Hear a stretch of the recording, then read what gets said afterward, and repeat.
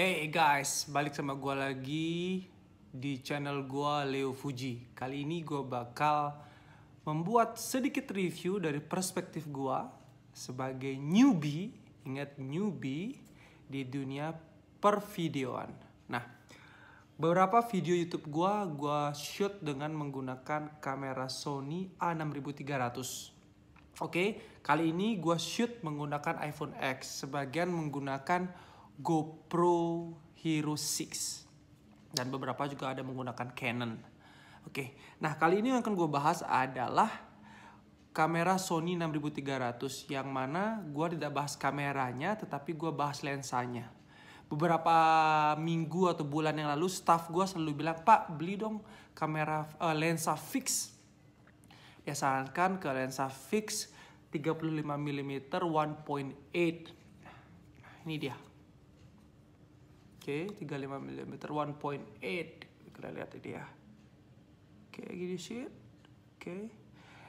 Uh, optical steady shot by Sony. Harganya gue beli di Bali, nggak beli online se sebesar 3 juta 500. Nah, gue nggak terlalu ngerti soal kamera dan gue sangat amatir. Katanya ini kamera lensa ini lensa very bokeh.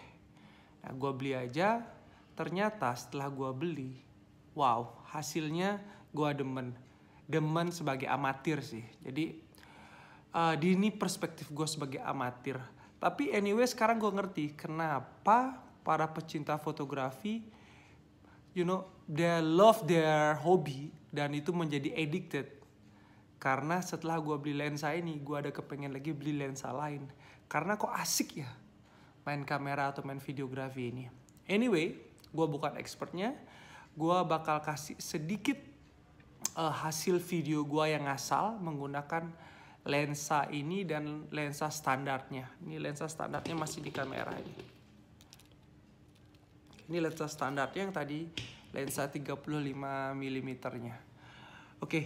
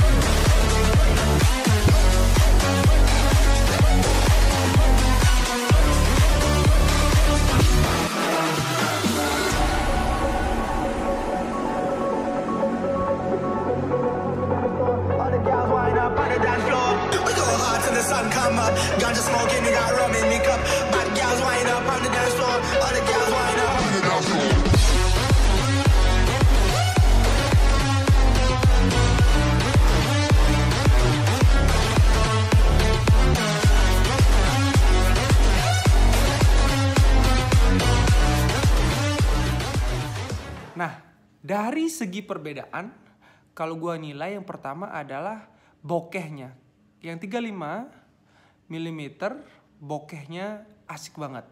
Sedangkan yang biasa nggak bisa bokeh. Bisa mungkin ya, cuma gue nggak tahu cara pakainya. Terus uh, di low light sangat asik. Di low light hasilnya bagus, lebih jernih ya. 35 mm ini. Dan uh, eh, gue semua surprise sih kenapa harga lensa mahal.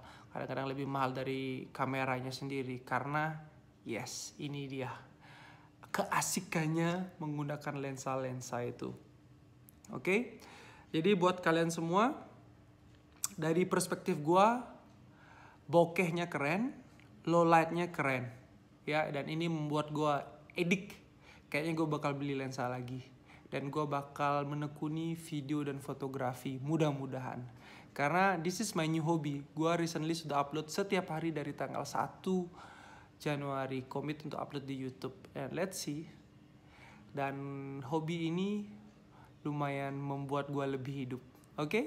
sekian dari gue semoga video ini berguna bagi kalian. Dari sisi amatir mengenai lensa 35 mm 1.8 nya Sony untuk A6300 see you